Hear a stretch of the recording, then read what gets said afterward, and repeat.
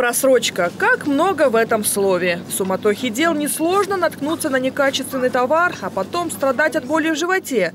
На продавцов надежды мало. Нехватка персонала, который бы следил за сроками годности – самая распространенная отговорка. В большинстве случаев на просрочку проще всего попасть в сетевых магазинах. Часто, очень часто. Раза три я заставала. Все, ну я смотрю, не беру, вот и все, что. Но я, правда, говорю, что просроченный товар. Один из таких сетевых супермаркетов видном на советском проезде посетили участники федерального проекта «Народный контроль». Внимание обращали на скоропортящиеся товары. Они чаще всего и бывают просроченными. Кисломолочная продукция, детское питание, яйца, овощи, фрукты, зелень. За 20 минут рейда собралась корзина просроченных продуктов.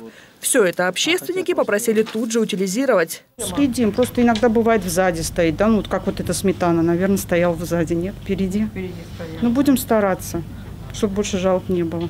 И если в этом магазине просрочки нашлось только на корзину, то в другом супермаркете на улице Школьной для некачественного товара не хватило целой тележки. Общественники нашли полный ящик майонеза с истекшим сроком годности. Срок хранения майонеза при комнатной температуре 45 суток. Произведено данное изделие 13 декабря 2018 года. Соответственно, срок годности истек два дня назад. На выброс пошло и пол холодильника кондитерских изделий.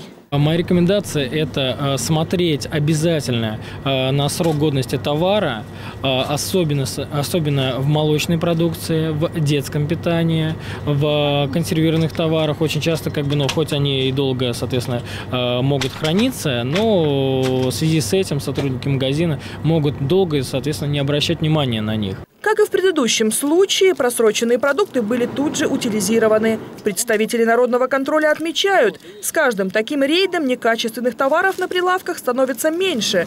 Общественная акция дает свои плоды. Руководство всех продовольственных товаров, э, они знают, что есть такая общественная организация, которая наблюдает, следит, приходит и проверяет. Поэтому э, сотрудники стараются Э, не нарушать ни законы, не нарушать законы прав потребителей. И я думаю, что с каждым годом это все лучше, лучше и лучше становится.